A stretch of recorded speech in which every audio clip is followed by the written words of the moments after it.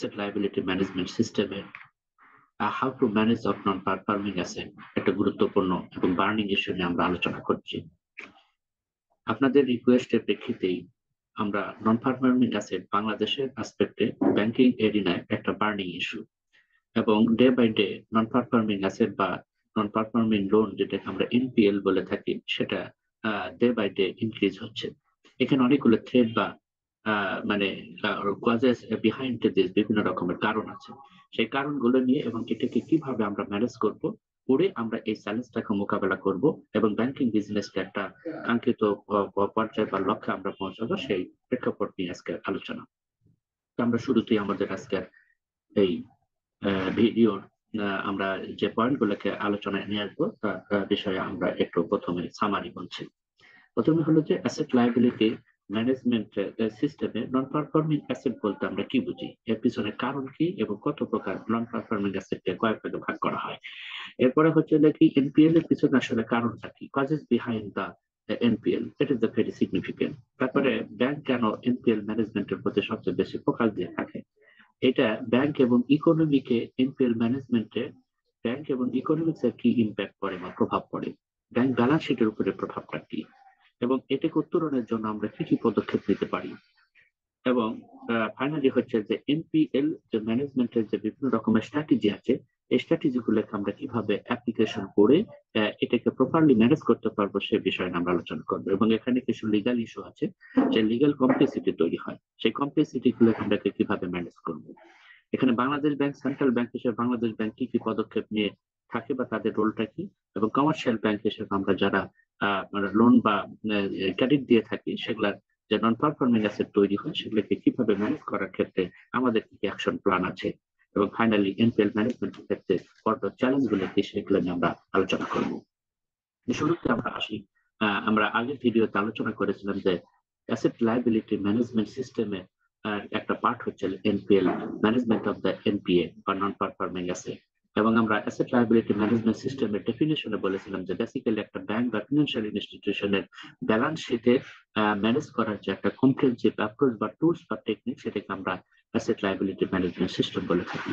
এবং বেসিক্যালি এখানে অ্যাসেট এবং ম্যানেজ অ্যাসেট এবং লাইবিলিটির মধ্যে ম্যাচিং করার মাধ্যমে যে অ্যাসেট এবং লাইবিলিটি কারণে যে রিস্কটা তৈরি হয় সেটাকে মিটিগেট করা এবং প্রফিটকে একটা অপটিমাম লেভেলে ধরে রাখা বা সাস্টেনেবল লেভেলে ধরে রাখা। হচ্ছে মূলত অ্যাসেট লাইবিলিটি ম্যানেজমেন্ট সিস্টেমের মূল মানে মানে উদ্দেশ্য। আমরা জানি as a banker, we know that our loans and advance portfolio is divided into two categories. One is performing asset বা পারফর্মিং লোন যেখান থেকে আমরা আসলে ক্রেডিট যে আমরা মূলত ঋণের যে উদ্দেশ্য, যে বিনিয়োগের মাধ্যমে সেই টাকাটা রিটার্ন আনা এবং উইথ ইন্টারেস্ট বা ইনকামের সাথে সে ধরনের যে লোনগুলো এই ধরনের কাজের সাথে মানে পারফর্ম করে থাকে সেগুলোকে আমরা পারফর্মিং অ্যাসেট বা পারফর্মিং লোন বলে থাকি। আর যেটা যে লোন বা অ্যাসেট পারফর্ম করতে ব্যর্থ হয় বা যেখান থেকে কোনো আমরা রিটার্ন না পাই, সেই ধরনের অ্যাসেট গুলোকে আমরা নন পারফর্মিং লোন বা নন পারফর্মিং অ্যাসেট বলে থাকি। যাই হোক, আমরা আগের ভিডিওতে আরেকটা বিষয় আলোচনা করেছিলাম অ্যাসেট লাইবিলিটি ম্যানেজমেন্ট সিস্টেমে একটা স্ট্র্যাটেজি আছে ম্যানেজ করা। তার নাম্বার ওয়ান হচ্ছে অ্যাসেট ম্যানেজমেন্ট স্ট্র্যাটেজি তারপরে হচ্ছে আমাদের liability management strategy fund management strategy এবং ক্যামেলস রেটিং এর মাধ্যমে ক্যামেলস অ্যানালাইসিস এর মাধ্যমে আমরা অ্যাসেট লায়াবিলিটি ম্যানেজমেন্টে সহায়ক হয়ে থাকে বা কাজ করে থাকে। আমরা মূলত আজকে হলে কি অ্যাসেট ম্যানেজমেন্ট পার্টটুকু আলোচনা করব। এই অ্যাসেট আমরা আগে বললাম যে টোটাল ব্যাংক বা ফিনান্সিয়াল ইনস্টিটিউশন অ্যাসেট গুলোকে বা লোন গুলোকে আমরা দুই ভাগে ভাগ করি। একটা হচ্ছে পারফর্মিং অ্যাসেট বা একটা হচ্ছে পারফর্মিং অ্যাসেট বা যে কোনো প্রতিষ্ঠান, একটা পারফর্মিং অ্যাসেট আর একটা হচ্ছে নন পারফর্মিং অ্যাসেট আমরা আজকে মূলত হচ্ছে যে নন পারফর্মিং অ্যাসেট যেটা যেটাকে আমরা এনপিএ বলে থাকি, এটা ম্যানেজ করার ক্ষেত্রে বা টুল বা টেকনিকটা কি, মূলত আমরা সেটা নিয়ে আলোচনা করব। তো আমরা সেই জায়গায় যাওয়ার আগে প্রথমে একটু জানতে চাই বা আমাদের একটা ধারণা স্পষ্ট হওয়া উচিত আসলে নন পারফর্মিং অ্যাসেট বলতে কি বুঝি? আমি ইতিমধ্যে বলেছি যে যে সকল অ্যাসেট সিম্পল ভাবে বলা যায়, যে লোন বা অ্যাডভান্স অথবা যে অ্যাসেট গুলোকে মানে প্রফিট বা ইনকাম জেনারেট করতে, কোনো রকমের রোল প্লে করতে পারে না, সেই ধরনের অ্যাসেটকে আমরা সিম্পল ভাবে নন পারফর্মিং অ্যাসেট বা নন পারফর্মিং লোন বলে থাকি। আমরা যদি আরেকটু যদি তাত্ত্বিক ভাবে যদি এটাকে যদি সাজিয়ে বলি, তাহলে বিষয়টা এরকম যে non performing assets refers to loan or advances that have ceased to generate the income of the lender লেন্ডারের ইনকামকে স্টপ করে দেয় বা বন্ধ করে দেয় বা জেনারেট করতে যে বন্ধ করে দেয়, মূলত এই ধরনের অ্যাসেট বা লোনকে আমরা নন পারফর্মিং অ্যাসেট বা লোন বলে থাকি। তাহলে এখান থেকে আমরা দেখতে পারলাম যে যে দিস টাইপ অফ অ্যাসেট এই টাইপের অ্যাসেট গুলোকে আমরাকে অনেক সময় নন পারফর্মিং লোন বলে থাকি। কারণ লোনস এবং অ্যাডভান্সকে আমরাকে লোন বলে থাকি, এটাকে অনেক সময় আমরা নন পারফর্মিং লোন বলে থাকি বা এনপিএল বলে থাকি। This assets are concern of the bank ব্যাংকের জন্য একটা খুব একটা কনসার্নের বিষয়। বিকজ এইটা কি করে? আমি আগেই বললাম যে এটা সিস করে দেয় একটা ব্যাংকের ইনকাম জেনারেট করার মানে পন্থাকে বা ওয়েটাকে এটা ব্যাংক এবং ফিনান্সিয়াল ইনস্টিটিউশন এবং ফাইনালি কারে ইম্প্যাক্ট করে কোথায়? প্রফিটেবিলিটির উপরে এবং তার লিকুইডিটির উপরে। আমরা এখানে আগে ভিডিওতে আলোচনা করেছিলাম যে আমি যদি দশ টাকা যদি, একশো টাকা যদি ডিপোজিট নিয়ে আসি, সেই একশো টাকার একটা নির্দিষ্ট টাইম পরে, ধরেন ওয়ান ইয়ারের পরে সেটা ম্যাচুর হবে, আমি তাকে একশো দশ টাকা উইথ বেনিফিট পাঁচ টাকা বেনিফিট সহ একশো পাঁচ টাকা আমি তাকে দেবো। এই উদ্দেশ্যে আমি কি করলাম, এই যে পাঁচ টাকা যে প্রফিট দেবে প্রফিটটা আমি কই পাবো? এই জন্য আমরা এটা কি করলাম, এই একশো টাকা আমরা আমরা সিম্পল ভাবে বলছি, এই টাকাটা আমরা কি করব ইনভেস্ট করব।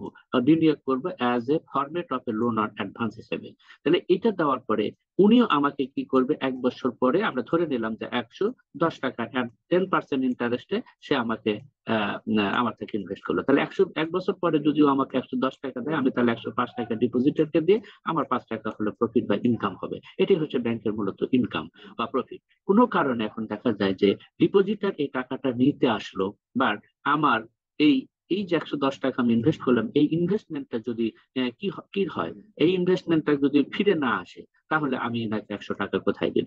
এই জন্য আমরা কি করি? টোটাল একশো টাকা ডিপোজিটেরই হান্ড্রেড পার্সেন্ট আমরা কি করতে ইনভেস্ট করতে পারি আমরা হান্ড্রেড পার্সেন্ট ইনভেস্ট করি না। এখান থেকে একটু প্রভিশন পার্ট হিসেবে আমরা কিছু অংশ রেখে দিই। সেই রেখে দেওয়ার পার্টটাই আমরা যেটা মূলত হচ্ছে যে বিভিন্ন রকমের যে কমিটমেন্ট থাকে ব্যাংকের এই কমিটমেন্ট মানে হচ্ছে বিভিন্ন ধরনের ডেইলি অপারেশনে যে ক্যাশ টাকা প্রয়োজন হয়, সেই ক্যাশ টাকা মিট আপ করবার জন্য আমরা যে ক্যাশ ম্যানেজ করে থাকি, যে ক্যাশটা রিজার্ভ মেনটেন করে থাকি বা ধরে রাখি, সেটাকে আমরা বলি লিকুইডিটি তাহলে এটাও কিন্তু একটা লিকুইডিটি আমি যদি অ্যাভেলেবেল না থাকে, তাহলে কিন্তু আমার কমিটমেন্ট ফেল করবে। তারপর কিন্তু সেটাই কিন্তু লিকুইডিটি রিক্সে পরিণত হবে। তাহলে এই লিকুইডিটি ম্যানেজ করা কিন্তু ব্যাংকের বিজনেসের অন্যতম একটা ইম্পর্টেন্ট ইস্যু তাহলে আমরা নন পারফর্মিং অ্যাসেট সম্বন্ধে একটা ধারণা পেলাম। এর কারণ কি?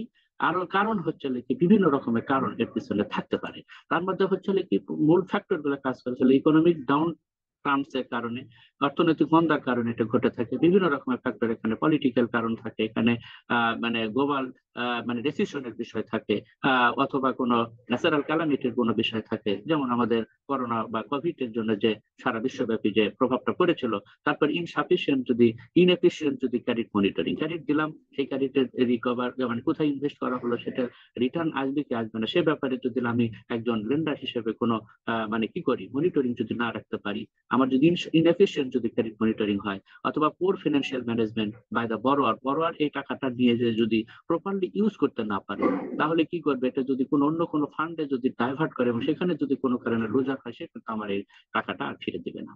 তারপরে হচ্ছে অনেক সময় হচ্ছে লোকে সর্বোপরি একজন বড় আর ইন্টেনশনও কাজ করে। আমি লোন নিচ্ছি আমাকে লোন আর দিতে হবে না। এই যে অ্যাটিচিউড এটাও কিন্তু মানে এথিক্যাল যে বিষয়টা, সেটাও কিন্তু এই নন পারফর্মিং অ্যাসেট তৈরি করতে কারণ হিসেবে কাজ করে।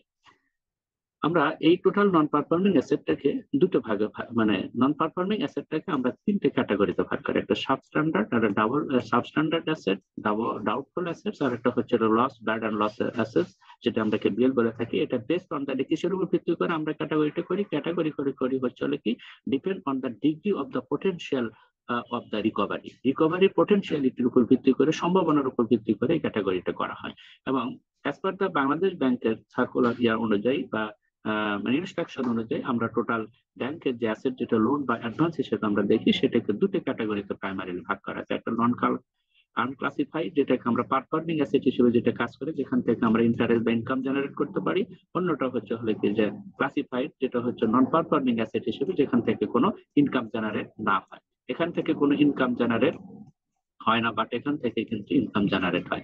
এই ইনকাম জেনারেশন উপর ভিত্তি করে আমরা টোটাল লোন বা অ্যাডভান্স অথবা ব্যাংকের অ্যাসেট থেকে দুটো ক্যাটাগরিতে ভাগ করে থাকি। একটা আনক্লাসিফাইড এর মধ্যে পরে হচ্ছে স্ট্যান্ডার্ড অ্যাসেট যেটা, আর একটা হচ্ছে নাকি স্পেশাল মেনশন অ্যাকাউন্ট যেটাকে আমরা এসএমএ বলে থাকি। এই দুইটা প্যাটার্নকে আমরা অন্য একটা ভিডিওতে আমরা এটা বিস্তারিত আলোচনা করেছি। এরপরে হচ্ছে নাকি আমাদের এই স্টেজের পর থেকেই আমাদের শুরু হয় হচ্ছে হলে কি? যে সাব স্ট্যান্ডার্ড অ্যাসেট যেটাকে আমরা এসএস বলে থাকি ডাউটফুল অ্যাসেট বা ডিএফ বলে থাকি, তারপরে আমাদের ব্যাড অ্যান্ড লস বা পিএল অ্যাসেট বলে থাকি। তাহলে এই আমরা তিনটে ক্যাটাগরি পাইলাম হচ্ছে যেগুলোকে নন পারফর্মিং অ্যাসেট হিসেবে কাজ করে থাকে। তার মানে আমাদের টোটাল ব্যাংকের অ্যাসেটের অন্যতম সোর্স হচ্ছে লোন বা অ্যাডভান্স এই লোন বা অ্যাডভান্স হচ্ছে লিখে ডিআরপিডি সার্কুলার অনুযায়ী আমরা দুটো ক্যাটাগরিতে ভাগ করেছি। একটা হচ্ছে পারফর্মিং অ্যাসেট আর একটা হচ্ছে নন পারফর্মিং অ্যাসেট এই পারফর্মিং অ্যাসেটকে আমরা একটা আনক্লাসিফাইড লোন বলে থাকি আর নন পারফর্মিং অ্যাসেটটাকে আমরা বলে থাকি ক্লাসিফাইড লোন যেটা হচ্ছে তিনটে ক্যাটাগরি থেকে, এটা depending on the degree of the potentiality of the recovery উপর ভিত্তি করে এই ক্যাটাগরি গুলোকে আমরা করে থাকি। এরপরে আমরা বলতেছি যে একটা লোন কি কারণে আসলে এনপিএল হয়ে যায় বা নন পারফর্মিং অ্যাসেটে রূপান্তর হয় কি কারণে? এটা মূলত হচ্ছে লেকে loan become the NPL or NPA non performing loan অথবা নন পারফর্মিং অ্যাসেটে রূপান্তর হয় দুটা কারণে either for the lacking of the willingness of the borrower বরোয়ারের যদি সদ ইচ্ছার অভাব থাকে অথবা যদি shortage of the capacity of the borrower borrower যথেষ্ট ইচ্ছা শক্তি থাকার পত্রেও যদি তার ক্যাপাসিটি যদি শর্টেজ হয়ে যায়, বিভিন্ন কারণ এখানে থাকে। কোনো বিজনেস ফল ডাউন করে যেগুলো আমরা একটু আগে আলোচনা করে আসলাম যে ইকোনমিক বিভিন্ন ইস্যু থাকে ফ্যাক্টর থাকে, তারপরে একটা দেশের বিজনেসের এনভায়রনমেন্টের একটা প্রভাব থাকে গ্লোবাল ইস্যু থাকে সেখান থেকে মার্কেটের বিভিন্ন রকমের রিস্ক থাকে। এগুলা যদি কোনো কারণে ফল করে, সেই ক্ষেত্রে যদি তার বিজনেস হাম্পার হয়, তাহলে এই হাম্পার হলে তার কারণে কিন্তু কি হয়? এনপিএতে রূপান্তর হয়। আরেকটা ইস্যু হচ্ছে কি যে, তাহলে আমরা দেখতে পেলাম যে টোটাল নন পারফর্মিং অ্যাসেট তৈরি হওয়ার মূল উদ্দেশ্য হল, মূল কারণ হচ্ছে একটা উইলফিল কজ থাকে আর একটা হচ্ছে নন উইলফিল কজ উইলফিল কজের কারণে যে মানে বড়োয়ারগুলো ডিফল্টার হয় সেগুলোকে আমরা উইলফুল ডিফল্টার বলি। আর নন নন উইলফুল ইস্যুর কারণে যে ডিফল্টার হয় সে সত্য থাকা সত্ত্বেও যদি সে লোনটা রিকভার করতে না পারে, তাহলে এই ধরনের আমরা মানে নন উইলফুল ডিফল্টার বলে থাকি। এবং এই ভিত্তি করে আমরা একজন বড় একটা বিভিন্ন সময় ব্যাংকের নিজস্ব স্ট্র্যাটেজি অনুযায়ী বিভিন্ন রকমের সুবিধা এগুলো কিন্তু আমরা দিয়ে থাকি। তাহলে আসলে এগুলোর কারণ কি? যেহেতু সবগুলো যদি আমরা তখন আলোচনা যদি একটু সাম আপ করি, তাহলে সবগুলো আলোচনার একটা মূল প্রেক্ষাপট হলে এতগুলো পয়েন্ট আমাদের কাজ করে। একটা হচ্ছে কি, অনেক সময় হচ্ছে প্রপার ফিজিবিলিটি স্টাডির অভাবে এটা হয়ে থাকে। ইনভেস্টমেন্ট করার আগে আমরা ফিজিবিলিটি স্টাডি করি না। তারপরে প্রিন্সিপাল অফ সাউন্ড ল্যান্ডিং যদি মানে যথেষ্টভাবে ফলো করা না হয় এবং কাস্টমার সিলেক্ট বড়োয়ার সিলেকশনের ক্ষেত্রে যে সেভেন সি বা ফাইভ সি যে কৌশল আছে, সেই বড়োয়ার সিলেকশনের ক্ষেত্রে সেটা যদি প্রপারলি ফলো করা না হয় ওভার ফাইন্যান্সিং যদি হয়, যে ফাইন্যান্সের প্রয়োজন, তার থেকে বেশি ফাইন্যান্স করা হয়, অথবা যদি কম ফাইন্যান্স স্পেশালি একটা প্রজেক্ট ফাইন্যান্সিং এর ক্ষেত্রে, একটা প্রজেক্টে যদি একশো কোটি টাকা টোটাল যদি কস্টিং হয় অ্যাকচুয়াল কস্ট হয়, আমি যদি এখানে যদি আশি কোটি টাকা আন্ডার ফাইন্যান্স করি, তাহলে কিন্তু তার প্রজেক্টটা কমপ্লিট করতে পারবে না। তাহলে কমপ্লিট না হলে সে অপারেশনে যেতে পারবে অপারেশনে না গেলে তাহলে কি হবে? সে কিন্তু এই লোনটা রিকভার করতে পারবে না। আবার আমি যদি একশো কোটি টাকা তার প্রয়োজন, আমি যদি সেখানে একশো বিশ কোটি টাকা দিই, তার মানে বাদ বাকি বিশ কোটি টাকা কি করবে? ফান্ড সে ডাইভার্ট করবে। এই ফান্ড ডাইভার্ট করে অন্য জায়গায় নিয়ে যাবে। বাট এই যে বিশ কোটি টাকার অতিরিক্ত যে বার্ডেন সে বার্ডেন কিন্তু তাকে নিতে হবে। কারণ তাকে এই বিশ কোটি টাকার উপরে তার ইন্টারেস্ট আছে এবং এই বিশ কোটি টাকার কারণে তার ইনস্টলমেন্ট সাইজ বেড়ে যাবে, যেটা হয়তো তার বিজনেস প্রোডাকশনের সাথে এবং সেলস রিভিনিউর সাথে ম্যাচিং না হওয়ার কারণে সে কি করবে? টাকা বা আমাদের লোনটা পরিশোধ করতে পারবে না, তখনই লোনটা কিন্তু নন পারফর্মিং এ রূপান্তর হয় এবং এটি আমার ব্যাংকের পরিভাষায় এটা আমাকে নন পারফর্মিং অ্যাসেট তারপরে ইরেশনাল কিছু রিপেমেন্ট শিডিউল যদি হয়, আমি বললাম যে ইনস্টলমেন্ট সাইজ তার সক্ষমতা বেশি যদি হয়ে থাকে এটা একটা বিষয়। তারপর কনসেন্ট্রেশন অফ লোন যদি কোনো একটা সিঙ্গেল একটা মানে খাতে যদি আমরা কনসেন্ট্রেট করি, তারপর ওভার ভ্যালুয়েশন করি সিকিউরিটি ওভার ভ্যালুয়েশন করে যদি আমরা বেশি লোন দেই ইনসাফিসিয়েন্ট যদি সিকিউরিটি নেই, তাহলে বড় কিন্তু ইন্টেনশনালি উইলফুল ডিফল্টার হয় একটা টেন্ডেন্সি কাজ করে থাকে। এরপরে আমরা যে সিকিউরিটি নিলাম, সেই সিকিউরিটি যদি মার্কেটে ইজিলি সেলেবল না হয়, তাহলে কিন্তু সেই ক্ষেত্রে বড় কিন্তু একটা মানে ব্যাড ইন্টেনশন নিয়ে থাকে যে, এই, আমার এই সিকিউরিটি তো সে বিক্রি করতে পারবে না। অতএব আমি লোনটা পরিশোধ করব। এগুলোতে বিভিন্ন রকমের ম্যাল ইন্টেনশন কিন্তু অনেক সময় প্রভাবিত করে এই এনপিএল তৈরি করার ক্ষেত্রে। তারপরে বড়োয়ারের যদি যে বিজনেসটা করছে, সেই বিজনেসে যদি ইনএক্সপেরিয়েন্স হয়, তাহলে সেই বিজনেস কিন্তু সে সাকসেসফুলি করাতে তার নানা রকমের বাধার সম্মুখীন তারপরে ফান্ড ডাইভার্সন আমরা ইতিমধ্যে আলোচনা করছি। তারপরে ট্রান্সপারেন্সি ল্যাকিং এর কারণে আমাদের এটা হয়। তারপরে আনউইলিংনেস টু দ্য রিপে রিপের কারণে এই বিষয়টা কিন্তু চলে আসে। Why bank focus on the NPL অথবা এনপিএল উপরে কেন বেশি ফোকাস করে থাকে? সেটার অন্যতম কারণ হচ্ছে যে যে if any loan becomes NPL বা এনপিএল এর রূপান্তর হয় we can evaluate it in the following way দুই ওয়েতে আমরা এটাকে ইভালুয়েশন করে থাকি। একটা হচ্ছে কোয়ালিটেটিভ ইভালুয়েশন আর একটা কোয়ান্টিটেটিভ ইভালুয়েশন কোয়ালিটেটিভ ইভালুয়েশনের ক্ষেত্রে যে প্যারামিটারগুলো বিবেচনা হয়, সেটা হচ্ছে বিজনেস অথবা ইন্ডাস্ট্রিয়াল যে রিস্ক এই রিস্ক যত বাড়বে, সেটা এনপিএল এর পরিমাণও তত বেড়ে যাবে। তারপরে ম্যানেজমেন্ট রিস্ক যত বাড়বে ম্যানেজমেন্ট রিস্ক যত বাড়বে এনপিএল পরিমাণ বাড়বে। সিকিউরিটি রিস্ক যদি মানে আপওয়ার্ডে থাকে রিলেশনশিপ যদি আপওয়ার্ড থাকে ব্যাংকের পারফরমেন্স যদি ডাউনওয়ার্ড হয়, ইত্যাদি this are the reasons of the qualitative ইভ্যালুয়েশনের ক্ষেত্রে যেটা এনপিএল সৃষ্টিতে সহায়তা করে থাকে। সেই জন্য আমাদের ব্যাংকগুলোকে এই জায়গাগুলোতে কিন্তু ফোকাসিং টেস্ট করা মানে গুরুত্ব দিয়ে থাকে। কোয়ান্টিটিভ ইভ্যালুয়েশনের মধ্যে আমরা দেখি লিভারেজ রেশিও লিকুইডিটি রেশিও যদি লিভারেজ রেশিও বাড়া মানে এনপিএলটা বেড়ে যায়। লিকুইডিটি রেশিও যদি কমে যাওয়া মানে এনপিএল পরিমাণ বেড়ে যাওয়া। প্রফিটেবিলিটি যত কমবে, তার মানে আপনার বুঝতে হবে যে এনপিএল পরিমাণ হয়তো বেড়ে গেছে। তারপরে এনপিএল যে কাভারেজ যত কমবে, তার মানে এনপিএলটা বেড়ে যাওয়ার সম্ভাবনা। অপারেশনাল এফিসিয়েন্সি যত কমবে, তত বাড়বে। আর্নিং ক্যাপাসিটি যত কমবে, তত কিন্তু এনপিএল এর পরিমাণটা বেড়ে যাবে। তাহলে এই হলো আমরা এইসব কারণে এই অ্যানালাইসিসগুলো করে আমরা ব্যাংক কি করি? Due to the riches of the NPL of the default loan asset quality of the bank degrades হয় ব্যাংকের অ্যাসেট কোয়ালিটিটা যত ডিগ্রেড হয় ডিগ্রেড হয়, কারণ যত এনপিএলটা বাড়বে, ততই অ্যাসেট কোয়ালিটি কিন্তু আমাদের ডাউনফল করবে।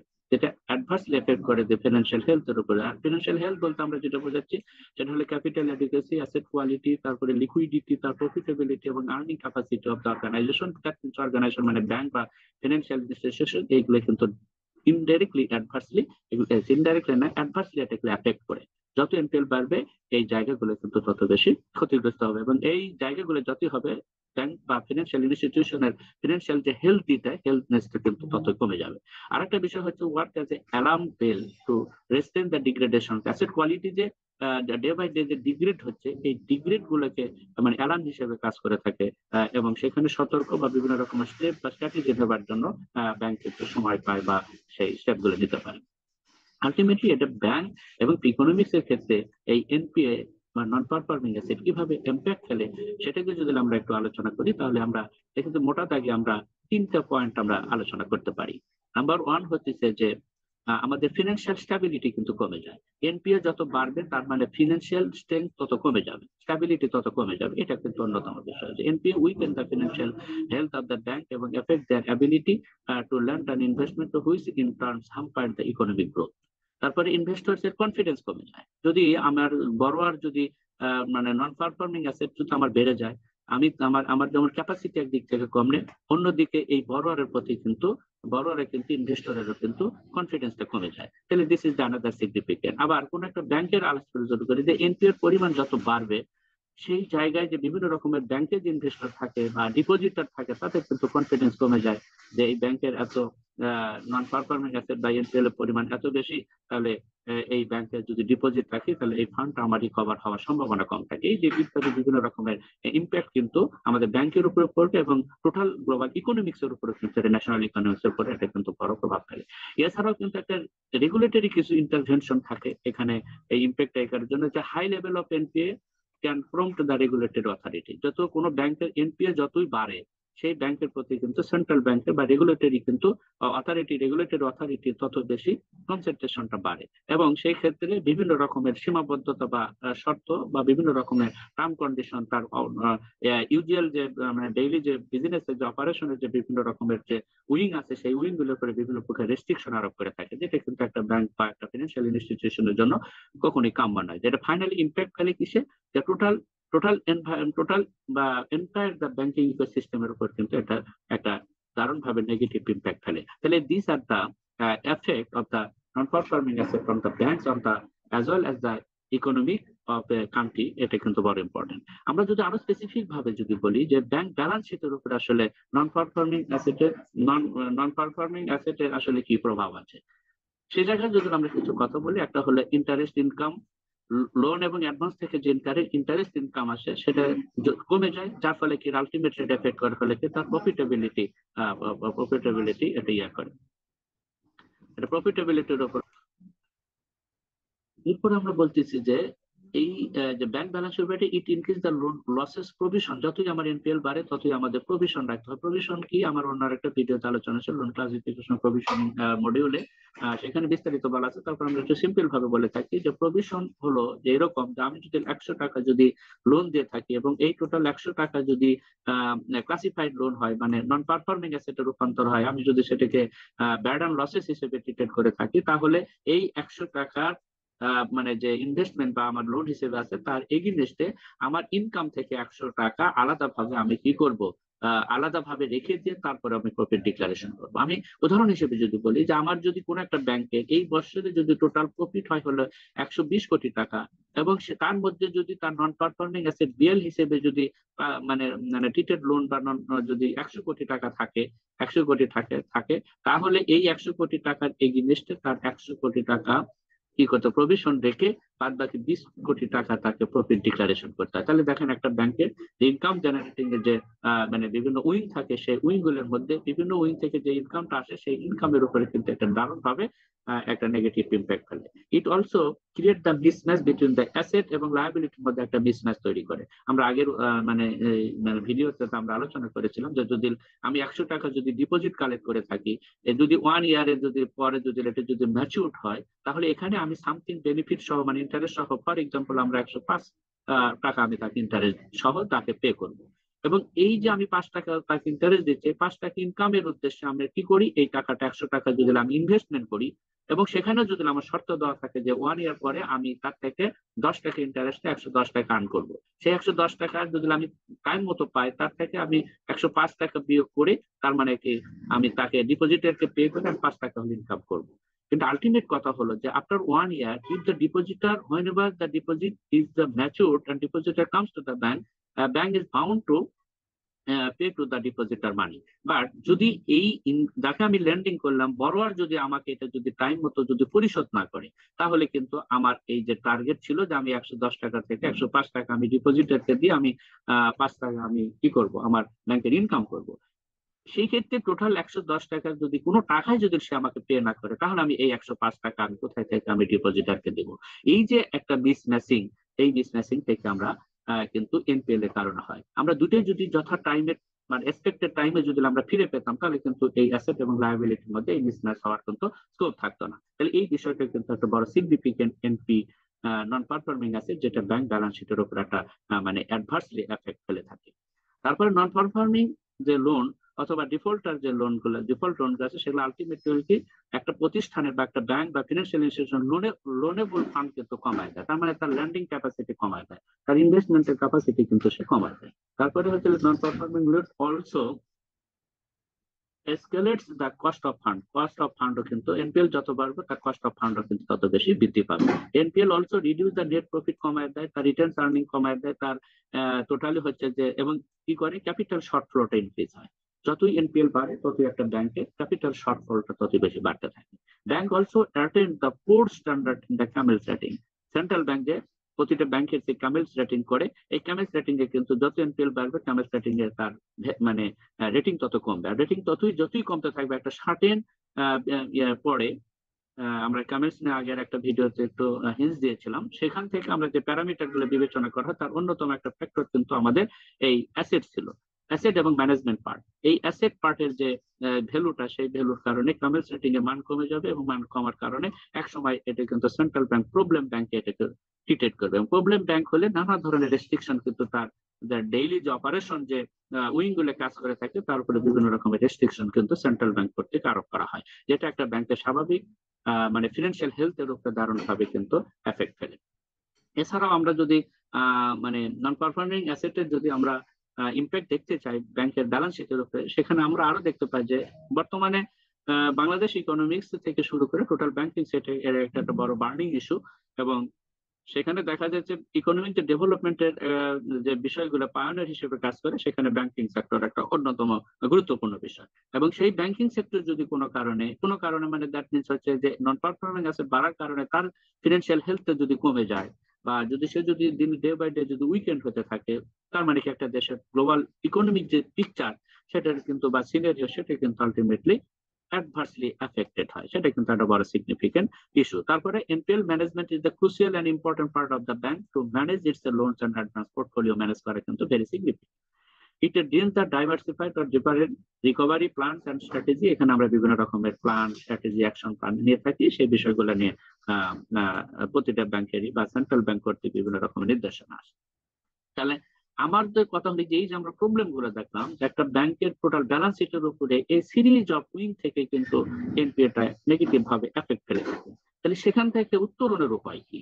অ্যাজ এ ব্যাংকার হিসেবে আমরা একটা আমাদের আসলে কি করণীয়? সেই জায়গাটা যদি আমরা যাই, তাহলে আমরা টোটাল এই করণীয় যদি আলোচনা করি, দুটো পার্টে ভাগ করে, একটা হলো প্রিভেন্টিভ মেজারমেন্ট আর একটা হচ্ছে কিউরিটিভ মেজারমেন্ট প্রিভেন্টিভ মেজারমেন্টের ক্ষেত্রে আমরা প্রথমে হচ্ছে কোনো ইনভেস্টমেন্ট করার আগে তার feasibility study is very significant specially যদি আমরা লার্জ যে ইনভেস্টমেন্ট প্রজেক্ট ফাইন্যান্সিং হিসেবে, সেখানে feasibility study is very significant তারপরে ল্যান্ডিং এর যে সাউন্ড ল্যান্ডিং এর যে প্রিন্সিপাল সেগুলো ফলো করা, তারপরে আমরা ওভার ফান্ডিং এবং আন্ডার ফাইন্যান্সিং এলাকা অ্যাভয়েড করা, তারপর ন্যাশনাল রিপেমেন্ট শিডিউল তৈরি করা ইনস্টলমেন্ট সাইজকে বিবেচনা করা, তার সেলস রিভিনিউর সাথে ম্যাচিং করে, তারপরে হচ্ছে লেগে যে ডিসবার্সমেন্টের সময় যেন তার ফান্ড ডাইভার্সি মানে ডাইভার্সিফিকেশন করা এবং ফান্ড যদি ডাইভার্ট না হয় সেদিকে আমাদেরকে মনিটরিং বাড়া to avoid the over valuation of the security sufficient and easily saleable security নিতে হবে এক্সপেরিয়েন্স এন্টারপ্রেনিয়ার তারপরে প্রোটেক্ট দ্য ফান্ড ডাইভার্স যেটা আমরা আগে বললাম ডাইভার্সন সেটাকে প্রোটেক্ট করতে হবে এনশোর দ্য ট্রান্সপারেন্সি বাড়াতে হবে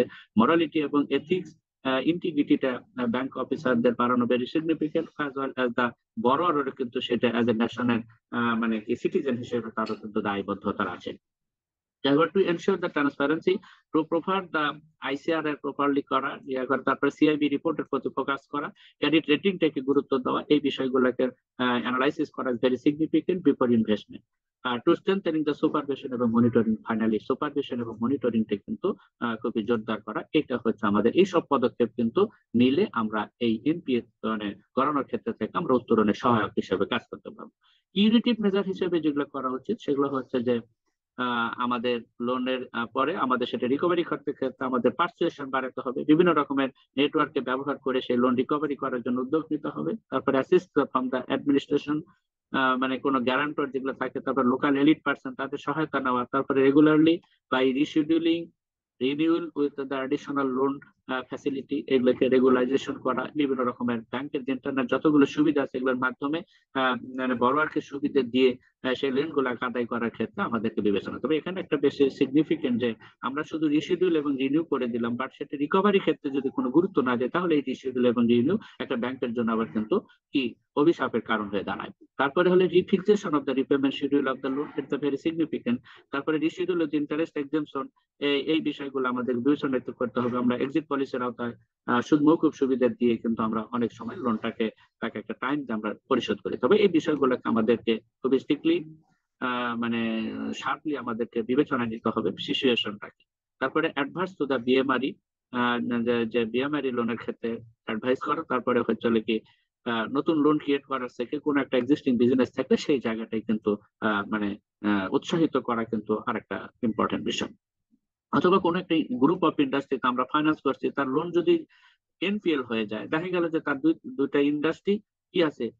মানে যে সো কল টাইপের বা ট্র্যাডিশনাল ওয়েতে চলছে, এখানে যদি সামান্য কিছু ইনভেস্টমেন্ট বাড়ে সেটাকে বিএমআরি করা যায়, তাহলে কিন্তু তার প্রোডাকশন কয়েক গুণ বেড়ে যায়। এই বিষয়গুলো কনভার্স করা কিন্তু একজন ব্যাংকারের খুবই মানে কি বলব ব্যাংকারের একটা নৈতিক দায়িত্ব অথবা এই পদক্ষেপগুলো নেওয়ার মাধ্যমে কিন্তু আমরা এনপিএল এর পরিমাণ কমাতে পারি এবং গ্রাহককে সহায়তা করতে পারি। এই বিষয়গুলো কিন্তু এজ এ প্রফেশনাল হিসেবে এজ এ ব্যাংকার হিসেবে আমাদেরকে অবশ্যই ইয়া করা উচিত। তারপরে রিকভারি অফ দ্য এনপিএল এবং আন্ডার দ্য এক্সিট পলিসির অর্থ যেটা আমরা আগে একটু আলোচনা করলাম। এরপরে আমরা ফাইনালি আসতেছি যে এই যে আমরা যে বিষয়গুলো আলোচনা করলাম, এখান থেকে আমরা এই এনপিএল ম্যানেজমেন্টের ক্ষেত্রে কি কি স্ট্র্যাটেজি নিতে পারি? আমরা total non performing asset management করার ক্ষেত্রে এই স্ট্র্যাটেজি থেকে আমরা এর আগে দেখলাম যে আমরা দুইটা কারণ থাকে। একটা উইলফিল মানে রিজন আর একটা হচ্ছে নন উইলফিল রিজন এই বিষয়গুলো কিন্তু বিবেচনা করে আমরা মানে পদক্ষেপ নিতে হবে। এবং টোটাল ব্যাংকের যে স্ট্র্যাটেজি সেই স্ট্র্যাটেজি থেকে নন পারফর্মিং অ্যাসেট রিকভারি ক্ষেত্রে যে স্ট্র্যাটেজি সেটাকে আমরা দুটো গ্রুপে ভাগ করে থাকি। একটা হচ্ছে হলো কি নন লিগেল মেজার্স ব্যাংকের বিভিন্ন রকমের ফ্যাসিলিটি দেওয়ার মাধ্যমে, আর একটা হচ্ছে legal measures non legal measures এর মধ্যে করে আমরা যদি ওয়ার্কিং ক্যাপিটাল হিসেবে কন্টিনিউয়াস লোন দেই, তাহলে সিসি হাইপার সিসি প্লেস বা ইসিসি এই জাতীয় প্রোডাক্টের ক্ষেত্রে আমরা ক্যাশ বা যে কোনো লোনের ক্ষেত্রে আমরা ক্যাশ রিকভারি আমরা বেশি প্রায়োরিটি দেবো। তারপরে হচ্ছে আমরা যেটা বললাম সিসি হাইপোপ্লেজের ক্ষেত্রে রিনিউল রিনিউয়াল করে দিয়ে যদি সেই লোনটা আদায় করার জন্য পদক্ষেপ নিতে হবে টার্ম লোনের ক্ষেত্রে সেটাকে রিশিডিউল এবং reschedule with interest exemption reschedule with the free block account খোলার মাধ্যমে যেটা আমাদের সিসি লোনের ক্ষেত্রে অনেক সময় ব্লক অ্যাকাউন্টে রিশিডিউল করে দিয়ে আমরা তাদেরকে একটা নির্ধারিত টাইম দেই সেটাকে রিকভারি করবার জন্য। তারপরে হলে ইন্টারেস্ট এক্সিমশন আমরা দিয়ে থাকি এক্সিট পলিসির আওতায়। এগুলো হচ্ছে নন লিগেল বিভিন্ন রকমের স্টেপ ব্যাংক কার্ড নিয়ে থাকে তার নন পারফর্মিং অ্যাসেট কমানোর জন্য। এই দিয়েও যদি কোনো লোনটা রিকভারি না হয় বা কোনো বড়োয়ার যদি এই সুবিধা বা ফ্যাসিলিটি গুলো নিতে না চায় বা উৎসাহ বোধ না করে বা ব্যাংকের সাথে যদি তার কমিউনিকেশনটাকে যদি সে ওইভাবে পজিটিভলি না নেয়, তাহলে সেই ক্ষেত্রে আমাদের যে করণীয় যে ব্যাংকার হিসেবে সেটা হচ্ছে যে লিগাল বিভিন্ন রকমের পদক্ষেপ গ্রহণ করা। লিগাল ইস্যু গুলোর মধ্যে আসতে আমরা ছোট লোন হলে আমরা পিডিআর অ্যাক্টের আওতায় আমরা এই লোন আদায়ের ব্যবস্থা নিতে পারি। তারপরে আমরা অর্থ ঋণ আদালতের ক্ষেত্রে বিভিন্ন রকমের আমাদের সুযোগ মানে নেওয়ার মানে প্রভিশন আছে, সেটা কিন্তু আমাদের ইম্পর্টেন্ট বিষয়। তারপরে suit as a bankruptcy act যেটা নাইনটিন সেভেন্টি টুর আওতায় কিন্তু আমরা লোন রিকভারি ক্ষেত্রে এটা ব্যবহার করতে পারি। চেক ডিজনার অর্থ মানে এনআই অ্যাক্টের আওতায় একশো আটত্রিশ আর্টিকেলে তারপরে হলো যে আমরা মর্গেজ প্রপার্টি সেলিং এর মাধ্যমে বারোর তিন ধারায় এরপরে হচ্ছে কি, অর্থঋণ আদালতের একত্রিশের তিন ধারা অনুযায়ী আমরা মর্গেজ প্রপার্টি আমরা থ্রু দা অনারেবল কোর্টের মাধ্যমে আমরা এটাকে সেল করতে পারি। Selling of the mortgage property as per অর্থঋণ আদালত তেত্রিশের তিন এবং পাঁচ ধারায়। এই বিষয়গুলো কিন্তু আমাদের মানে অ্যাজ এ ব্যাংকার হিসেবে জানতে হবে, যেগুলো আমরা লিগেল মেজার হিসেবে কাজ করে মানে পদক্ষেপ নিয়ে থাকি লোনগুলো আদায় করার ক্ষেত্রে। তবে লিগেল ইস্যুর ক্ষেত্রে কিছু কমপ্লিসিটি আছে। কমপ্লিসিটি একটা কি? অন্যতম কমপ্লিসিটি হচ্ছে যে, এই যে কেস সেটেলমেন্টের একটা মানে দীর্ঘসূত্রিতা ফরকাস্টিং আচ্ছা procrastination in settlement of the suit তারপরে রিট পিটিশন একটা ডিলে করার অন্যতম কারণ হয়। অনেক সময় আমাদের গ্রো মানে ইয়া কি করে হাইকোর্টে রিট করার মাধ্যমে আমাদের লোন ক্লাসিফিকেশন বা প্রভিশনিং করার ক্ষেত্রেও আহ, তারা স্টে অর্ডার নিয়ে আসে যেটা আমাদের অন্যতম একটা মানে হয়। তারপর হাইকোর্টের স্টে অর্ডার যেটা আমরা আগে বললাম। তারপরে moreover the parties the further বিভিন্ন রকমের ফ্যাসিলিটি তারা বা পদক্ষেপ নেওয়ার মাধ্যমে এই প্রক্রিয়াটাকে দীর্ঘায়িত করে। এটা কিন্তু আমাদের লিগেল কমপ্লিসিটির অন্যতম। তাহলে এক্ষেত্রে সেন্ট্রাল ব্যাংকে কি কি রোল প্লে করে থাকে? এনপিএল ম্যানেজমেন্ট এনপিএ ম্যানেজমেন্ট করার ক্ষেত্রে। সেন্ট্রাল ব্যাংকের যে পদক্ষেপগুলি ইতিমধ্যে নিয়েছে, তার মধ্যে হচ্ছে একটা যে আমাদের লোন ক্লাসিফিকেশন প্রভিশন এবং সেন্ট্রাল ব্যাংকের যে অন্যতম একটা করা গাইডলাইন যে লোন ক্লাসিফিকেশন প্রভিশনের মাধ্যমে আমাদের যে সিআইবি রিপোর্টিং করা হয়, সেক্ষেত্রে ক্লাসিফাইড লোন কোনো বড়োয়ারকে কোনো ব্যাংক কোনো ধরনের কি করতে পারবে না ফার্দার ফাইন্যান্সিং করতে পারবে এটা কিন্তু বাংলাদেশ ব্যাংক বা সেন্ট্রাল ব্যাংকের বা হিসেবে তাদের অন্যতম একটা পদক্ষেপ, যেটা আমাদের এনপিএ ম্যানেজমেন্ট করার ক্ষেত্রে অনেক বেশি পজিটিভলি সহায়ক হিসেবে কাজ করে থাকে। তারপরে ইন্টারেস্ট সাসপেন্সের যে বিষয়, তারপরে মেইনটেন্স অফ দ্য প্রভিশন আমরা যেটা একটু আগে আলোচনা করলাম, যে লোন যদি ক্লাসিফাইড হয়ে যায় এনপিএ হয়ে যায় তাহলে সেই ক্ষেত্রে যদি বিএল হিসেবে সেটা ট্রিটেড হয় সেখানে আমার প্রফিট থেকে কিন্তু তার এগেনস্ট হান্ড্রেড পার্সেন্ট কি করতে হয়? আরও ইনকাম থেকে আহ, সেটা প্রভিশন মেনটেন করা হয়। এটা কিন্তু ব্যাংকারদের মানে কনসার্ন কমার্শিয়াল ব্যাংকে একটু এক ধরনের চাপে রাখা। এটা কিন্তু সেন্ট্রাল ব্যাংকের একটা স্টেপ বা পদক্ষেপ অথবা রোল তারপরে রিশিডিউলিং এর সুবিধা কিন্তু দিয়ে থাকে যে বড়োয়ার যদি সত্যি সত্যি যদি কোনো রিয়েল সিচুয়েশনের কারণে যদি সে ডিফল্টার হয়ে থাকে তাহলে তাকে একটু সময় দিয়ে তার বিজনেস সহায়ক ভাবে সহায়তা করার মাধ্যমে তার লোনটা আদায় করার ক্ষেত্রে এটাকে ইয়ে করা। তাহলে এটাও কিন্তু একটা ব্যাপার। তারপর রিস্ট্রাকচারিং যে পলিসি সেটাও কিন্তু একটা বড় ধরনের পদক্ষেপ। যেটা রিয়েল সিচুয়েশনে একজন ক্ষতিগ্রস্ত বড় আরকে তার বিভিন্ন রকমের সুবিধা দেওয়ার মাধ্যমে সেটাকে কি করা। তাকে সুযোগ দেওয়া এবং এই লোনটা আদায় করার ক্ষেত্রে তাকে হেল্প করা। তাহলে এইভাবে আমরা তারপরে ইন্টারেস্ট এক্সেমশন যে পলিসি আছে, যে এক্সিট পলিসির আওতায়, এগুলো কিন্তু সেন্ট্রাল ব্যাংকের বিভিন্ন রকমের পদক্ষেপ যেটা লোন বা নন পারফর্মিং অ্যাসেট ম্যানেজমেন্ট করার ক্ষেত্রে আমাদের সহায়তা করে থাকে। এখন কথা হলো যে কনসার্ন ব্যাংক হিসেবে, অর্থাৎ কমার্শিয়াল ব্যাংক হিসেবে যারা আমরা ইনভেস্টমেন্ট করে থাকি, তারাও এনপিএল ম্যানেজমেন্ট ক্ষেত্রে ক্ষেত্রে কি কি অ্যাকশন প্ল্যান নিয়ে থাকে সেগুলো নিয়ে আমরা কিছু কথা বলব। একটু আগে আমরা প্রতিটা ব্যাংকেরই বিভিন্ন রকমের পদক্ষেপ নিয়ে থাকে। এটাও মূলত সেন্ট্রাল ব্যাংকের নির্দেশনার প্রেক্ষিতেই যে প্রতিটা ব্যাংকের একটা task force recovery task force যেটা headed by the MD and CO recovery monitoring team থাকে। এখানে ডিএমডি হেডেড থাকে, তারপরে এমডি রিকভারি সেল থাকে, সেখানে কাজ করে থাকে, তারপরে টপ টোয়েন্টি সেল যে ব্রাঞ্চ এবং টপ যে থ্রি হান্ড্রেড যে ডিফল্টার সেগুলো বিভিন্ন রকমের কিন্তু স্কিম প্রতিটা ব্যাংক নিয়ে থাকে। তারপরে রিকভারি আলাদা ডিপার্টমেন্ট বা ডিভিশন থাকে, তাদের যে ডেপ কালেকশন যে ব্রাঞ্চ ওয়াইজ সেগুলো ডিভিশনাল অফিস এরিয়া অফিস বা জোনাল অফিস বিভিন্ন ব্যাংকের বিভিন্ন ভাবে একটা নাম থাকে এই ইউনিটগুলো কিন্তু স্পেশালি কাজ করে থাকে বা বিভিন্ন রকমের অ্যাকশন প্ল্যান তারা নিয়ে থাকে। অনেক সময় দেখা যায় যে রিকভারি সপ্তাহ বা মানে পক্ষ হিসেবে বিভিন্ন রকমের মেলা মানে আয়োজন করা হয়ে থাকে, এই বিষয়গুলো কিন্তু করা হয়। তারপরে আমাদের হচ্ছে যে, এখানে আরেকটা বিষয় হচ্ছে necessary measures to materialise the APA এবং বউ। বাংলাদেশ ব্যাংকের সাথে এবং মিনিস্ট্রি অফ ফাইন্যান্সের সাথে যে বিভিন্ন রকমের চুক্তি করা হয়, সেই চুক্তিগুলো কিন্তু মাধ্যমে এই লোন রিকভারি ক্ষেত্রে কিন্তু বিভিন্ন রকমের অ্যাকশন প্ল্যান কিন্তু প্রতিটা কনসার্ন ব্যাংক এটা নিয়ে থাকে। তারপরে ডিক্লাসিফিকেশন লোন ডিফল্টার পার্টির ডিক্লাসিফিকেশন যেগুলো আমরা একটু আগে আলোচনা করলাম, যে স্টেপগুলো, এগুলো করার মাধ্যমে তারা পার্টিকে সহায়তা করে এবং এই লোনটা রিকভারির ক্ষেত্রে তারা পদক্ষেপ নিয়ে থাকে। তারপরে এক্সিট পলিসির অর্থ ইন্টারেস্ট এক্সামশন এগুলোও কিন্তু বিভিন্ন রকমের অ্যাকশন প্ল্যানের পার্ট তারপরে রেগুলার কনভারসেশন গ্রাহকের সাথে তার ব্রাঞ্চ ম্যানেজার ক্রেডিট অফিসার সেটা ওভার ফোনে বিভিন্ন রকমের legal sorry local powerful person বা এলিট পার্সনদের সাথে কমিউনিকেশন বা গভর্নমেন্ট অফিসিয়ালকে ব্যবহার করে আমরা লোন রিকভারির ক্ষেত্রে কমার্শিয়াল ব্যাংক বিভিন্ন ভাবে পদক্ষেপ নিয়ে থাকি। এছাড়া হচ্ছে ব্রাঞ্চ ম্যানেজার কনফারেন্স হয়, আমাদের সেটা প্রতিটা ব্যাংক করে থাকে। তারপরে বোর্ড অফ ডিরেক্টরস এর যে বোর্ড অফ ডিরেক্টরস তারপরে তার audit committee board of director risk management committee board of director তারাও কিন্তু বিভিন্ন সময় যে ক্যারিট রিকভারির অ্যাক্টিভিটিসকে রিভিউ করে এবং সেই রিভিউ করার পরে রিকভারি পজিশন দেখে তারপরে বিভিন্ন রকমের পদক্ষেপের রিকমেন্ড করে থাকে। এগুলো বিভিন্ন রকমের অ্যাকশন প্ল্যান কিন্তু প্রতিটা কমার্শিয়াল ব্যাংক নিয়ে থাকে। তারপরে বলছে যে এনপিএল এনপিএল অথবা নন পারফর্মিং অ্যাসেট ম্যানেজমেন্ট করার ক্ষেত্রে আসলে বেসিক্যালি স্পেশালি বাংলাদেশের আসপেক্টে চ্যালেঞ্জগুলো কি? টোটাল চ্যালেঞ্জ গুলোকে যদি আমরা আলোচনা করি, তাহলে আমরা মোটা দাগে তিনটা পয়েন্টে আমরা কথা বলতে পারি। একটা হলে ম্যাক্রো ইকোনমিক কিছু ফ্যাক্টর এখানে কাজ করে থাকে, তারপরে লিগাল কমপ্লিসিটি কিছু ইস্যু কাজ করে থাকে, যেটা আমরা ইতিমধ্যে অল্প একটু আলোচনা করেছি। তারপরে টেকনোলজিক্যাল কিছু ইম্প্যাক্ট আছে। আমরা যদি ম্যাক্রোমিক ফ্যাক্টরগুলোর কথা বলি, তাহলে challenge raise from the influence of macroeconomic variables on the quality and the recovery of the non-performing asset, requiring the adaptable strategy. It is very significant. Economics এর অনেক ফ্যাক্টর আছে যেগুলো আসলে বিজনেসের উপর দারুণ ভাবে কিন্তু প্রভাবিত করে থাকে যে এবং আমার যে বড়োয়ার সে এই লোনের টাকা যে ইনভেস্টমেন্ট করছে সেই সেক্টরটা যদি কোনোভাবে নেগেটিভলি ইম্প্যাক্টেড হয় মানে ক্ষতিগ্রস্ত হয়, তাহলে কিন্তু সেটা কিন্তু তার এনপিএল ক্ষেত্রে কিন্তু একটা প্রভাব ফেলে। লিগেল কমপ্লেক্সিটি আমরা ইতিমধ্যে আলোচনা করেছি যে বিভিন্ন রকমের হাইকোর্টে যে স্টে অর্ডার করে বা আমরা মামলা করে টাকা আদায় করার ক্ষেত্রে বিভিন্ন রকমের দীর্ঘ শত্রুতা আছে, দীর্ঘ শত্রুতা আছে। তারপরে টেকনোলজিক্যাল বিভিন্ন রকমের ইম্প্যাক্ট আছে।